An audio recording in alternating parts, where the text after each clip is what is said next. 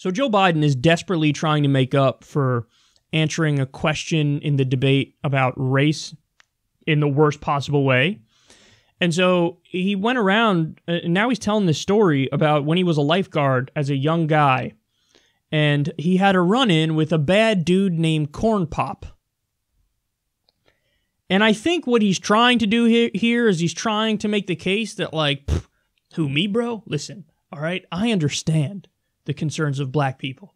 Now, let me tell you this story from when I was younger where there's a happy ending to the story, bro. Because me and Corn Pop ended up getting along and we ended up seeing eye to eye. And we became friends when there was a moment when it looked like we were going to be enemies, bro.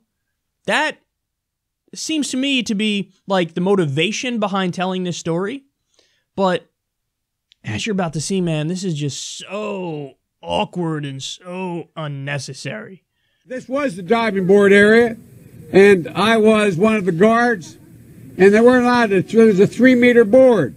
And if you fell off sideways, you landed on the damn, uh, the darn cement over there.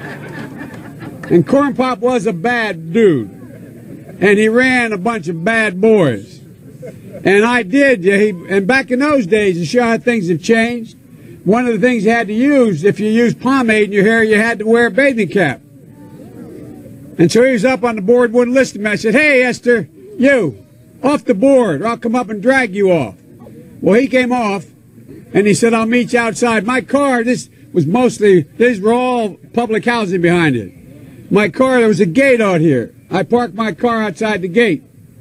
And I, he said, I'll be waiting for you. He was waiting for three guys in straight razors. Not a joke. There's a guy named Bill Wright, Mouse, the only white guy, and he did all the pools. He was the mechanic. And I said, what am I going to do? He said, come down here in the basement where mechanics, where, where, where all the pool filter is. You know, the chain, there used to be a chain that went across the deep end. And he cut off a six foot length of chain. He folded up. He said, you walk out with that chain. And you walk to the car and say, you may cut me, man, but I'm going to wrap this chain around your head. I said, you kidding me? He said, no, if you don't, don't come back. And he was right. So I walked out with the chain. And I walked up to my car. And they had, those days, you used to remember the straight razor. You'd bang them on the curb, get them rusty, put them in a rain barrel, get them rusty. And I looked at him, but I was smart then. I said, first of all, I said, when I tell you get off the board, you get off the board, and I'll kick you out again, but I shouldn't have called you Esther Williams. I apologize for that. I apologize, but I didn't know that apology was going to work. He said, you apologize to me? I said, I apologize for that, not for throwing you out, but I apologize for what I said. He said, okay, close the straight razor, and my heart began to beat again. Dude, I don't know what you're doing, but you need to stop. How did anybody in his uh, staff think like, oh no, this is this is fine. Go let him tell the story about corn pop. This will go over well. Oh my god, this is so embarrassing. There was also, I think it was the Washington Post had an article about this where they tell the story as well. Like this is a concerted effort on their part. Like, I'll get the get the corn pop story out there. This is gonna be good. And so it's supposed to end happy and him and corn pop get along and Okay, stop and reflect on this. We have a race right now where Joe Biden is out there telling you know stories about corn pop and telling a story about record players, play the record players at night, make sure the kids hear words. This is what Joe Biden is doing. And Bernie Sanders is quite literally talking people down from committing suicide over medical debt at his town halls. You could not get a more stark contrast than you're getting right now. And then what's so funny is that in the fallout to this, uh, and I've witnessed it on Twitter too, it's amazing. You have, you know, Joe Biden's staff now is almost like they're like kind of angry at the media because there are even people in the media who are normally not anti Biden, even they're kind of like, what's the point of this? Like, what are you doing? This is kind of weird and embarrassing. This is so strange. But they're like, his staff is like indignant that people are reacting in the way that they're reacting. So they're trying to like fact check people who are expressing skepticism over the story or have a negative view of the story. And it's like, dude, it, this, the question here is not the accuracy of the story. I don't give a fuck if it's accurate or not. The issue here is how massively out of touch that you think this is something that should be told on the campaign trail and should be a centerpiece of, you know, or should be a news cycle. Like, why do you think the corn pop story is something that's going to resonate with people and is necessary to tell? Why is this a thing? I, why are we here even hearing the goddamn corn pop story? This is the most ridiculous thing I've ever heard in my life.